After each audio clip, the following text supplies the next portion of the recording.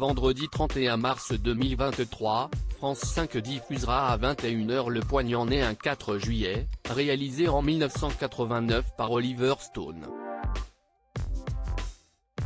Dans le rôle d'un patriote américain torturé, Tom Cruise, dont le personnage rentre de la guerre du Vietnam.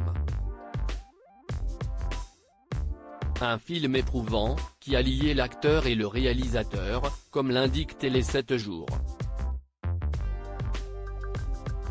Une bande originale culte, et un film qui a marqué toute une génération. Ce vendredi 31 mars 2023, France 5 met l'Amérique et une période bien particulière à l'honneur avec Né un 4 juillet. Les téléspectateurs pourront suivre la vie du jeune Ronokovitch, patriote dans l'âme.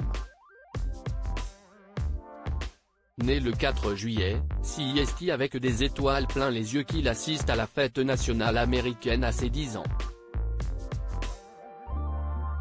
Plus tard, défendre le pays et ses alliés devient une évidence pour lui. Il s'engage alors à 17 ans dans le corps des marines, et le voilà envoyé au Vietnam. Sur place, une terrible fusillade survient et prend Ronukovic de court. Les conséquences seront dramatiques. CIST quand il rentre au pays, infirme et traumatisé, que toutes ses croyances sont bousculées.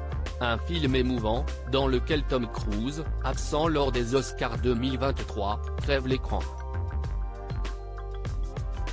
À seulement 27 ans, l'acteur américain a supporté sur ses épaules tout le poids de son film, tiré de faits réels.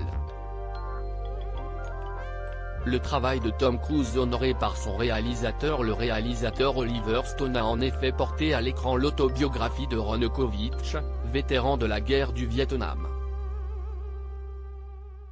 Un tournage très symbolique, qui a sans doute dû faire naître quelques larmes sur le visage de Tom Cruise. Si le témoignage de cette période était aussi important pour le réalisateur, CIST parce qu'Oliver Stone a également pris part à la guerre du Vietnam.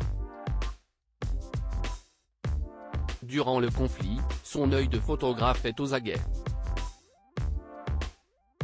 Ces images le hanteront un long moment et deviendront bientôt partie intégrante de son cinéma.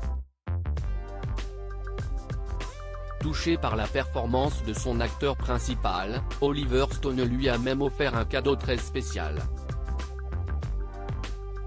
Ce lundi 20 mars 2023, Télé 7 jours a révélé que le réalisateur avait confié à Tom Cruise sa médaille de bronze, obtenue pour son implication dans la guerre du Vietnam. Un honneur considérable pour l'ex-mari de Cathy Holmes.